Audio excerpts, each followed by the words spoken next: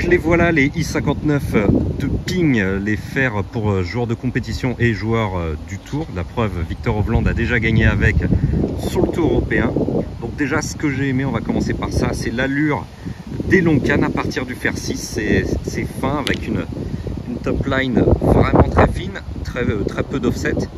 Mais malgré tout, une bonne petite tolérance à twist, pas trop à l'impact. Pourquoi? Parce qu'il y a eu un ajout de tungstène au talon et en pointe. Ça a été permis par euh, l'ajout d'aluminium, un matériau très léger dans le corps euh, de la tête, un insert en alu, donc très léger.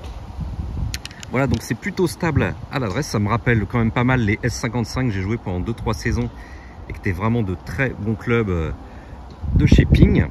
L'héritage évidemment très évidemment toujours présent avec cette petite encoche notamment sur le bout, du shaft. Euh, au niveau du toucher, c'est ferme et précis. On sait exactement où on prend la balle. C'est un désir des joueurs du tour euh, de ping.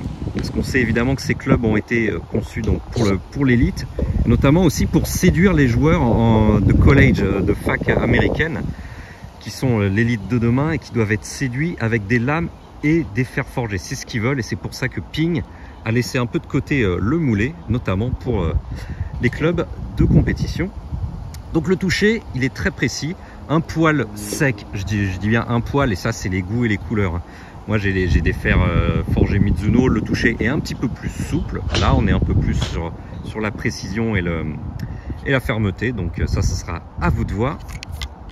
Un petit mot euh, pour finir sur le tarif, 290 euros l'unité, c'est très cher, ça, tabasse et évidemment ça s'explique par l'augmentation du, prix des matières premières dans le monde entier et ça touche pas que le golf. Il y a de l'aluminium, de l'acier et du tungstène dans ces clubs, donc c'est pour ça que ça coûte cher et aussi l'usinage hein, évidemment.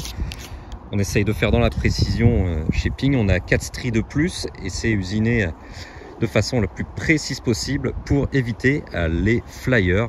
Donc euh, ça, ça, sera à voir sur le long, en test sur le long terme, sur le parcours et notamment en conditions humide. Voilà, c'est disponible dès septembre en magasin. Vous pouvez déjà les tester et les acheter dès la fin du mois.